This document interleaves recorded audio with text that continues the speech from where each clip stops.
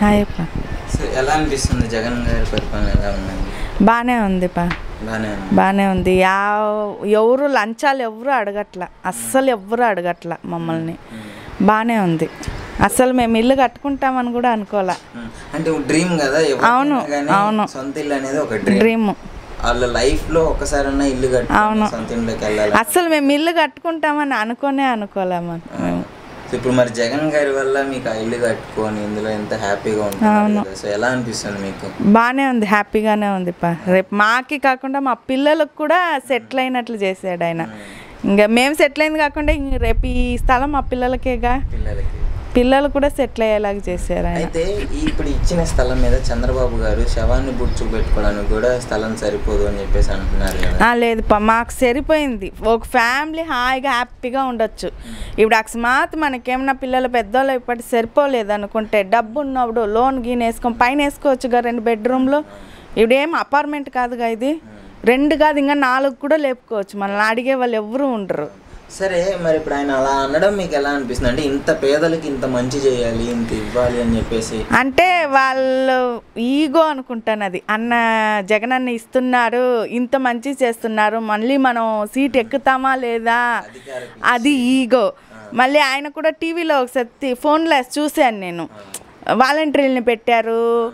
Disturb చేస్తారు. అది తప్పు. వాళ్ళ మేము ఇంట్లో కూక్కొని జగల మాకు స్థలం వచ్చింది. ఎవరు ఇప్పిస్తారు? యా సీఎం ఇప్పిరు. అస్సలు నేను ఇట్లా పరిపాలన ఆడ చూడలే అస్సలు మేము ఇంట్లో ఇంట్లో కూర్చొని కాడ మాకు వచ్చింది ఫ్లాట్. మేము. యావ అధికారి దగ్గరికి స- ఇలా జరుగుతుందని అస్సలు అనుకోలేదు పా అస్సలు అనుకోలేదు పేదవాళ్ళకి పెన్షన్లు ఇంటికి వచ్చి ఇవ్వడం? ఇంటికి వచ్చి ఇవ్వడం మనకి ఏమైనా ప్రాబ్లం ఉంటే ఇంటికి వచ్చి కనుక్కోవడం. మనం యావ అధికారి దగ్గరికి పోయి సంతకానికి కూకోవాల్సిన పని లేదు. మనం చెప్తే వాలంటీర్లు చేస్తారు. చేస్తారు. వాలంటీర్లు కూడా తీసేయాలని చెప్పేసి వాళ్ళ మీద అస్సలు అబ్బో! వాలంటీర్లు తీసేస్తే మా అట్లా ఆడపిల్లలు ఆడికి వెళ్ళాలా? అధికారులు మేమైతే తమిళనాడు నుంచి వచ్చి ఇక్కడ సెటిల్ అయ్యాం. మాకు తెలుగు రాయటం రాదు చదవటం రాదు. ఎవరు ఒక ఏరియా పేరు చెప్పినా గుర్తుండదు. ఇప్పుడు మా తమిళనాడులో తిరుచి మధుర అంటే మాకు గుర్తుంటుంది ఏరియా పేర్లు. ఇక్కడ చెప్పేపాటిగా ఏరియా పేర్లు గుర్తుండట్లా?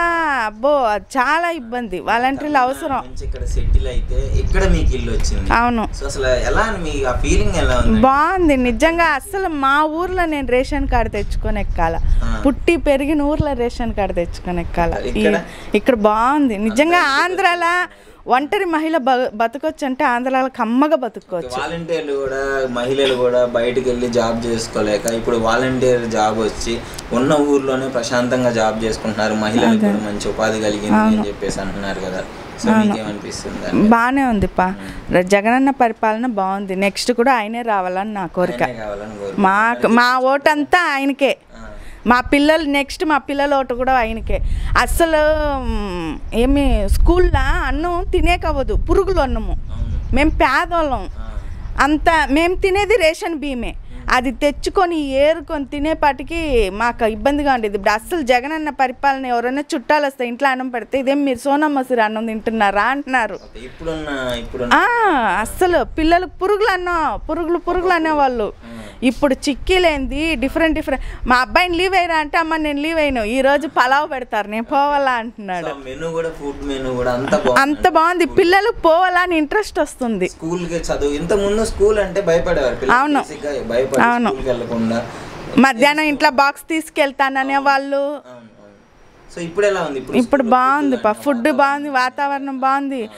నేడు నాడు నేడు మీద బాత్రూమ్స్ అంతా క్లీన్ చేస్తారు. మా పిల్లలు అయితే బాత్రూమ్ చాలా ఇబ్బంది పడేది మా అమ్మాయి. మంచి ఉపయోగం మహిళలకు. అస్సలు నాకు మాత్రం నెక్స్ట్ కూడా జగన్ అన్నే రావాలని నా మనసులో.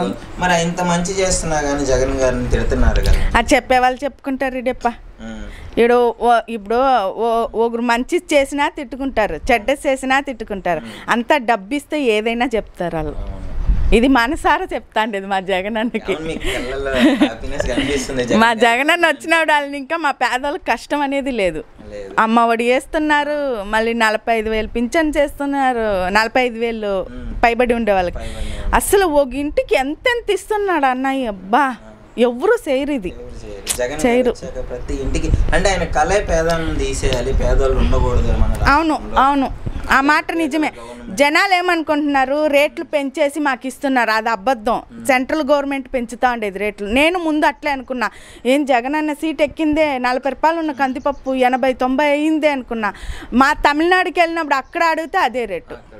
అప్పుడు తెలిసింది నాకు. ఒకే రేట్. రే- ఒకే రేట్. అది పెంచుతా ఉండేది సెంట్రల్ గవర్నమెంట్. జనాలకు అది తెలుస్తా లేదు అది అది తెలీదు పేదోళ్ళకి.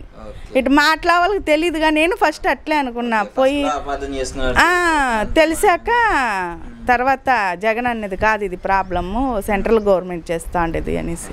సో ఇప్పుడున్న పరిపాలన ప్రకారం ఏ సీఎం అయినా ఇలా చేయడం కానీ చూసారా అస్సలు నా జీవితంలో ఒక్కరు కూడా ఇలా చేసింది చూడలే.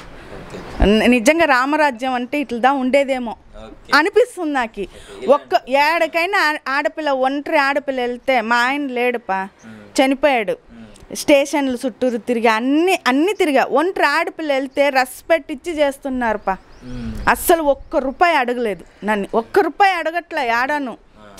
పోలీస్ స్టేషన్లో కానీ ఆడైనా ర- అంత బాగా రెస్పెక్ట్ ఇచ్చి మాట్లాడుతున్నారు ఆడపిల్లలకి. యా యాడ యా విషయమైన మా ఆయన ఊరంతా అప్పు చేసి పారిపోయాడు.